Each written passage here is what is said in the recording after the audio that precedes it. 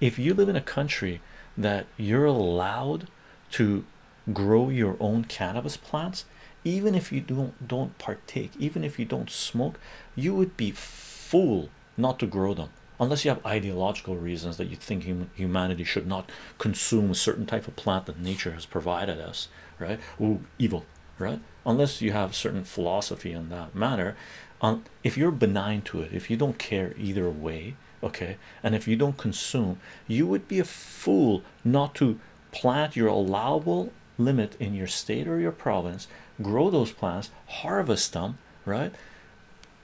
Cure them and take everything I say with a grain of salt cure them you know dry them basically put them in jars right?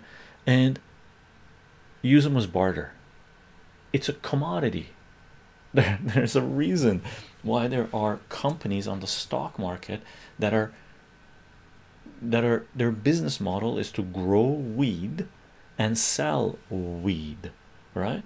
So if they can make enough money to be on the stock market pay their shareholders dividends and it's weed like literally it's weed. You have a lot you have a amount of land to grow grow it i can guarantee you in canada 50 percent of the population I don't know what the stats was. It was crazy.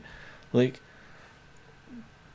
more than 70 50 percent of my friends like canadians smoke weed. Like it's i don't know what the stats is. Take with a grain of salt.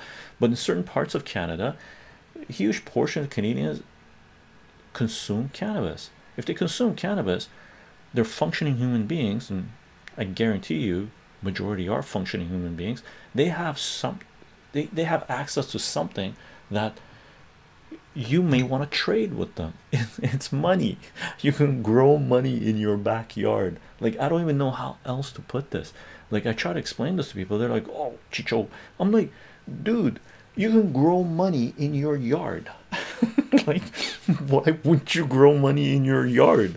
Because you have an ideological uh, issue with growing money in your yard.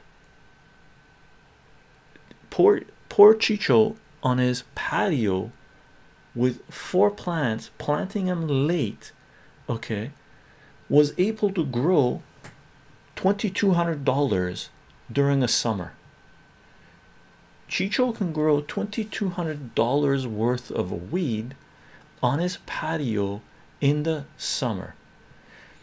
Hmm if someone has a huge backyard they have some compost or access to food to plants i'm pretty sure they could grow a lot more.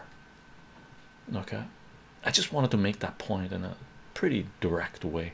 I mean if we don't do don't do it now when else are we gonna do it